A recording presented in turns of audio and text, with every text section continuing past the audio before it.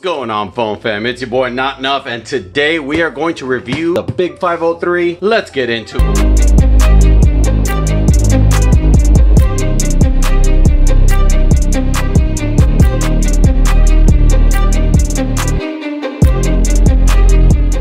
Alright guys, pretty straightforward. We have our two pieces of tape that we're gonna go ahead and slit. And the contents of this box come out like a tray.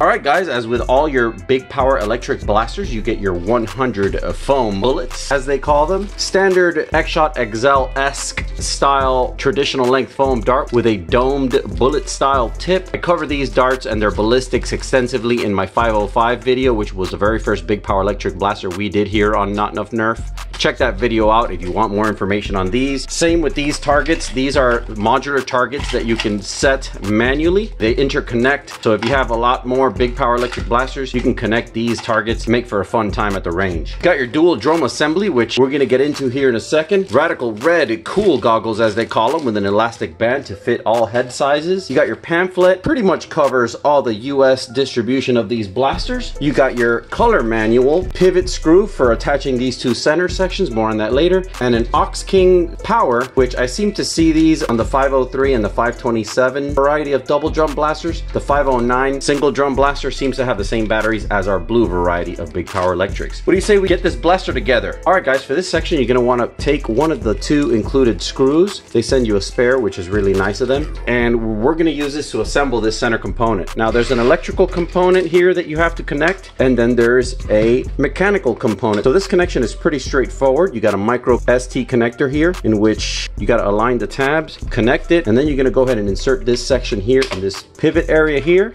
and then close this protective housing here. And then this is when you're going to insert your center screw and drive it home with a bit and make sure you have a handle on this one. This one you can't just use the bit because the screw is kind of like creating brand new threads into that plastic receiver on the other end. Make sure that it locks nicely and then you can use this switch here to depress the front assembly forward in order to install your drum set. Now this drum set only comes on in one direction. These tabs here indicate the bottom of the drum and they're gonna go accommodated here in these inserts. The best way to do it is kind of just sit the drum back evenly like that and then lock it into place. Battery installation is quite simple. You have your single Phillips screw here on this trap door. Now careful because as I stated before, this screw will come out, does not have a circlip holding it in. And then you wanna go ahead and insert your six AA batteries batteries already laying around which I was able to use. Didn't feel like opening the package on this one in case we end up giving this blaster away at some point in the future.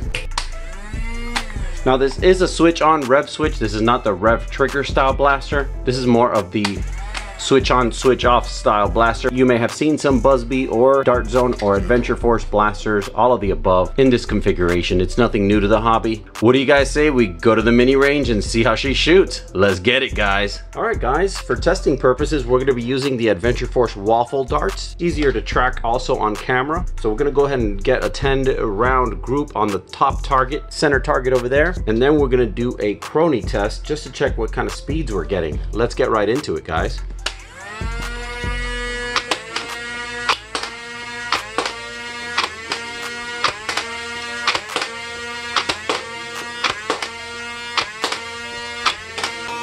All right, couple of outliers, and now we're gonna check out the chrono. Let's see if we can get 10 chrono readings. If there's any that bounce around inside the chrono tube, I'll go ahead and just cut those out so we can get some averages. Let's get it.